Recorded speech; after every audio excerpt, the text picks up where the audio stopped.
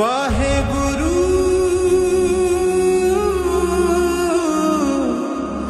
ਵਾਹਿਗੁਰੂ।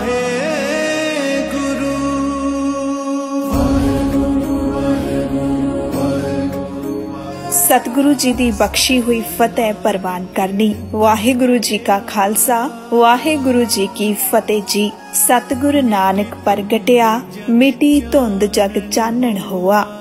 ਤਨ ਤਨ ਸਾਹਿਬ ਸ੍ਰੀ ਗੁਰੂ ਨਾਨਕ ਦੇਵ ਜੀ ਮਹਾਰਾਜ ਜੀ ਦੇ 550 ਸਾਲਾ ਆਗਮਨ ਪ੍ਰਕਾਸ਼ ਪੁਰਬ ਨੂੰ ਸਮਰਪਿਤ ਸਵਾ ਲੱਖ ਮੂਲ ਮੰਤਰ ਦੇ ਜਾਪ ਅਤੇ 550 ਜਪਜੀ ਸਾਹਿਬ ਜੀ ਦੇ ਪਾਠ ਦੇਸ਼ ਵਿਦੇਸ਼ ਵਿੱਚ ਵਸ ਰਹੀ ਗੁਰੂ ਨਾਨਕ ਨਾਮ ਲੇਵਾ ਸੰਗਤ ਅਤੇ ਸਾਰੀ ਕਾਇਨਾਤ ਦੇ ਚਰਨਾਂ ਵਿੱਚ ਸਰਦਾਰ ਮੀਤ ਸਿੰਘ ਗ੍ਰੰਥੀ ਸਿਵਲ ਇੰਜੀਨੀਅਰ ਗੁਰਦੁਆਰਾ ਨਾਨਕ ਚੀਰਾ ਸਾਹਿਬ ਬਿਦਰ ਕਰਨਾਟਕਾ ਵਾਲਿਆਂ ਵੱਲੋਂ ਬੇਨਤੀ ਕੀਤੀ ਜਾਂਦੀ ਹੈ, ਜੋ ਸਾਰੇ ਸੰਸਾਰ ਵਿੱਚ 12 ਨਵੰਬਰ 2019 ਨੂੰ ਤਨ ਤਨ ਸਾਹਿਬ ਸ੍ਰੀ ਗੁਰੂ ਨਾਨਕ ਸਾਹਿਬ ਜੀ ਮਹਾਰਾਜ ਜੀ ਦਾ 550 ਸਾਲਾ ਆਗਮਨ ਪ੍ਰਕਾਸ਼ ਪੁਰਬ ਮਨਾਇਆ ਜਾ ਰਿਹਾ ਹੈ। ਆਓ ਅਸੀਂ ਸਾਰੇ ਵੀਰ ਰਲ ਮਿਲ ਕੇ ਇਸ ਮਹਾਨ ਪੁਰਬ ਦੀਆਂ ਖੁਸ਼ੀਆਂ ਮਨਾਈਏ ਅਤੇ ਸੰਸਾਰ ਦੇ ਕਲਿਆਣ ਲਈ, ਸੰਸਾਰ ਦੇ ਸਾਰੇ ਜੀਵ ਜੰਤੂਆਂ ਦੀ ਸਹੀ ਸਲਾਮਤੀ ਲਈ ਅਤੇ ਆਪਣੇ ਘਰ ਪਰਿਵਾਰ ਦੀ ਸੁਖ ਸ਼ਾਂਤੀ ਲਈ ਅਸੀਂ ਵੀ ਆਪਣਾ ਦਿਲ ਫੁੱਲ ਭੇਟਾ ਕਰੀਏ।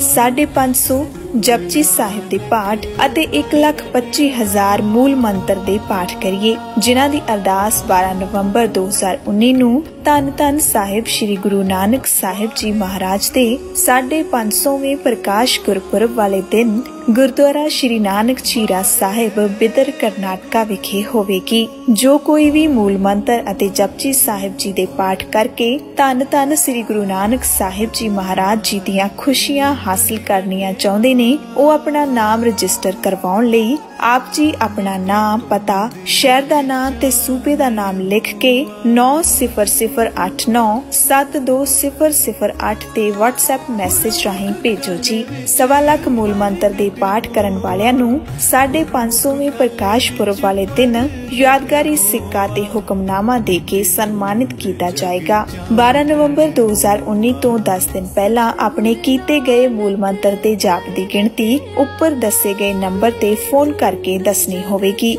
ਫਿਰ ਹੀ ਆਪ ਜੀ ਦਾ ਨਾਮ ਅਰਦਾਸ ਅਤੇ ਸਿੱਕੇ ਦੀ ਲਿਸਟ ਵਿੱਚ ਲਿਖਿਆ ਜਾਏਗਾ। ਧੰਨ ਧੰਨ ਸਾਹਿਬ ਸ੍ਰੀ ਗੁਰੂ ਨਾਨਕ ਸਾਹਿਬ ਜੀ ਮਹਾਰਾਜ ਜੀ ਦਾ 550 ਸਾਲਾ ਪ੍ਰਕਾਸ਼ ਪੁਰਬ 10 11 ਤੇ 12 ਨਵੰਬਰ 2019 ਨੂੰ ਗੁਰਦੁਆਰਾ ਨਾਨਕ ਚੀਰਾ ਸਾਹਿਬ ਬਿਦਰ ਕਰਨਾਟਕਾ ਵਿਖੇ ਮਨਾਓ ਜੀ।